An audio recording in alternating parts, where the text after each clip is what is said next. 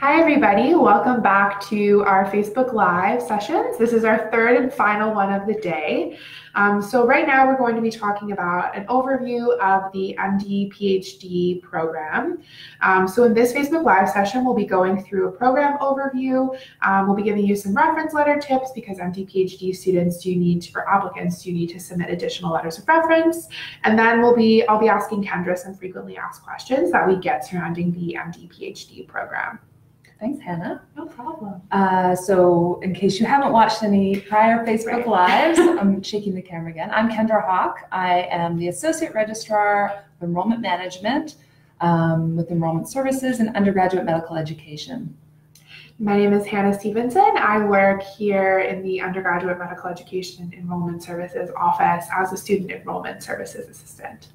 So, the MD PhD program is um, a parallel application stream to the MD program, and it's for a program that is sometimes misunderstood. It's a program that is training students to become clinician scientists or physician scientists. They're called two different things.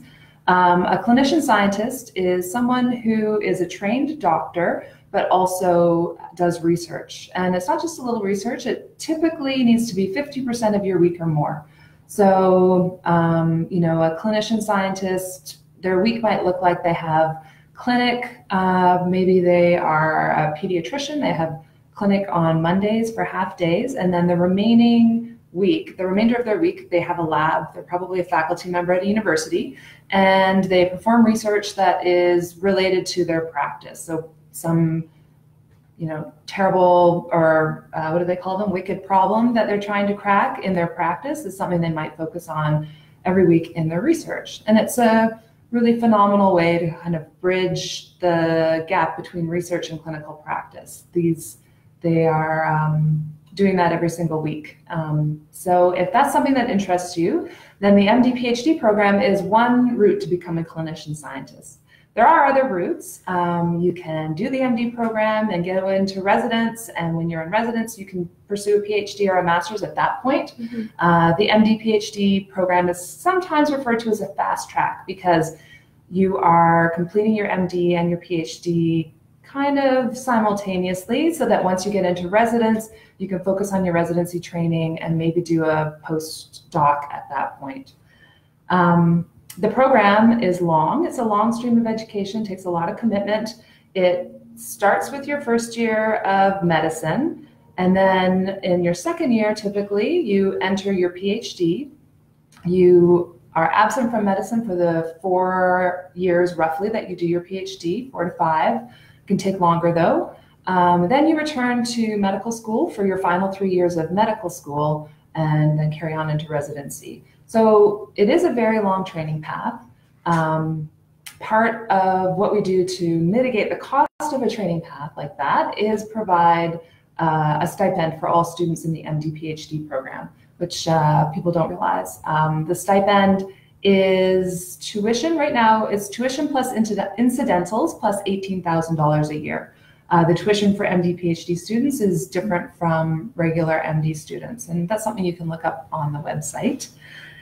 Um, so when you graduate, you would graduate with an MD degree, so your undergraduate medical degree, as well as a PhD. That's what the combined program is. You don't end up with an MD PhD degree per se.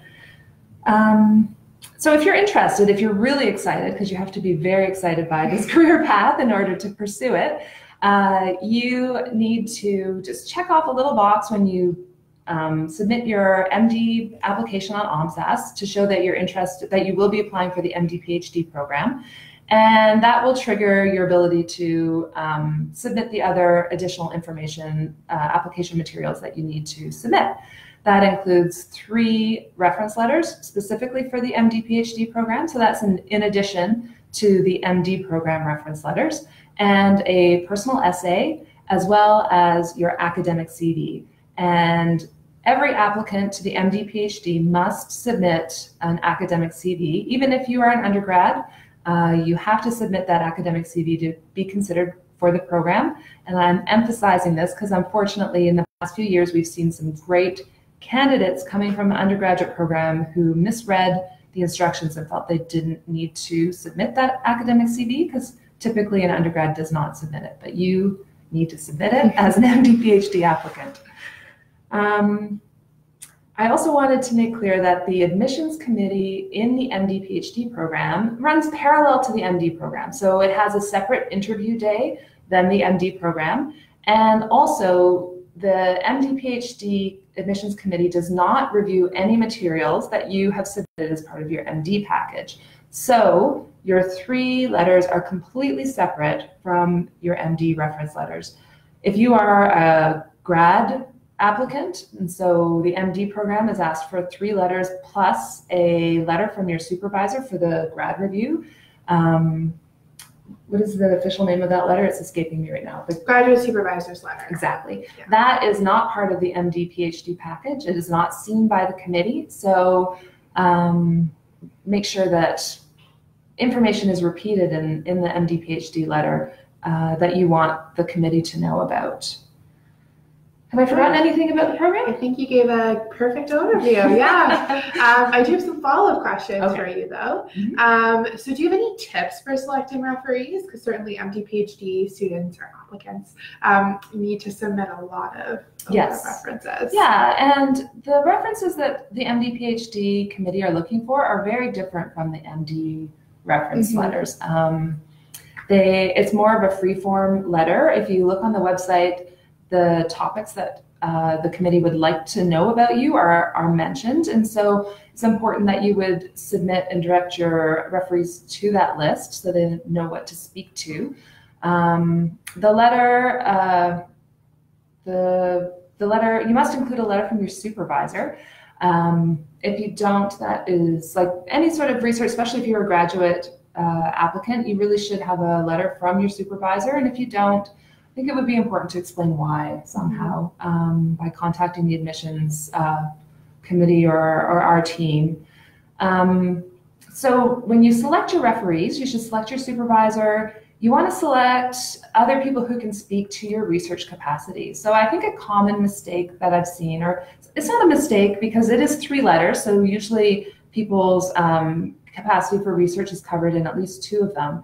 But we're not, the, the committee is not that interested in learning about how you got 100% in a certain course, for instance. Mm-hmm. Um, that doesn't reflect on, on your future productivity as a researcher. That is amazing, but it's not really relevant to what the committee is looking for. I would say that um, it's best to have the letters written by faculty members, or you know, if you're a professional and you're working in a professional research environment, then that would also be um, an appropriate reference, but uh, make sure that they're speaking to your research productivity. Um, I think uh, those are the major tips about selecting the referee. Perfect. Um, so for applicants who apply to the MD PhD program, do they get ex- they do they get considered for the MD program? Like, are they separate? How does that work? So, like I mentioned before, it's a parallel application process, mm-hmm. and they are simultaneously considered and reviewed for the MD program. So um, it very well may be that you're not selected for an interview for the MD PhD program, but you are for the MD program. Or if you get selected for an MD PhD interview, um, you will also interview for the MD program and you'll be considered for both separately. If you aren't provided with an offer to the MD PhD program, you continue to be in the pool for the MD program. So there's no disadvantage to applying to this stream whatsoever. Perfect.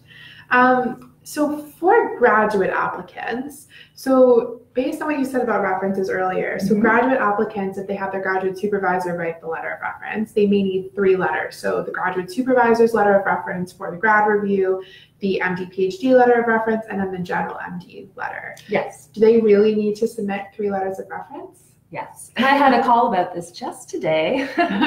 um, it may seem like a lot to ask of your supervisor to write three letters. But like I said, the MD PhD letter, the, the committee isn't reviewing the other two letters, so material can be repeated.